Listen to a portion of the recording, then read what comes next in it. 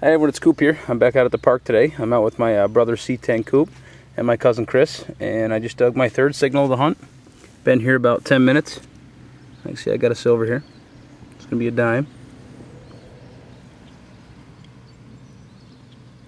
And it looks like barber. a barber.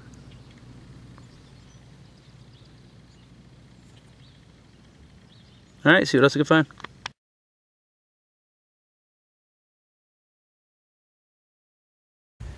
Cousin Chris, he's got a he's got a greenie here and a chunk of dirt. He's thinking it's gonna be an Indian.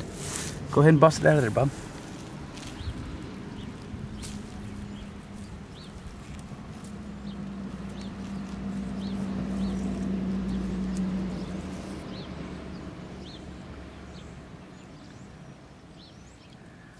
Looks like an Indian. Try to clean it up a little later, let you know. Okay guys, we moved on to a foundation site here.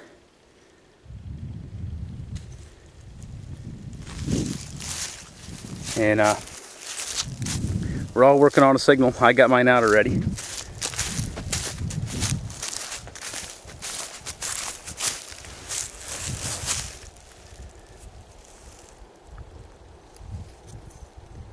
I'm not sure what this is, but it's uh looks like it's made of pewter.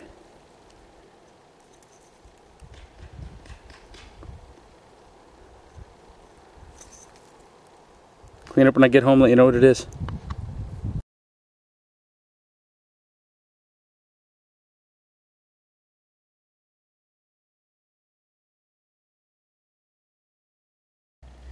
Just got a silver, not an oldie though.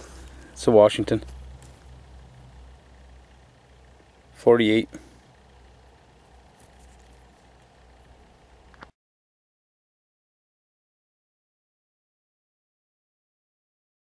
Hey everyone, Scoop here. I'm out uh, knocking on doors today with my cousin Chris.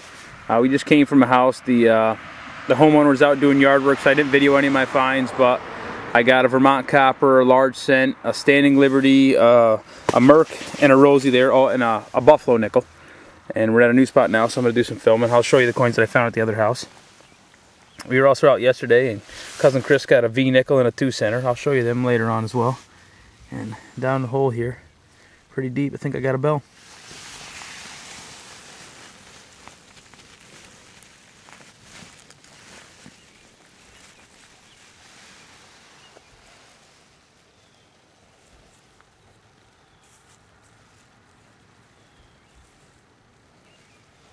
Alright, see what else we can find. Okay guys, I was just getting a 1245 on the E-TRAC. Looking down there, I see the rim of a green coin. Looks like it's going to be a copper.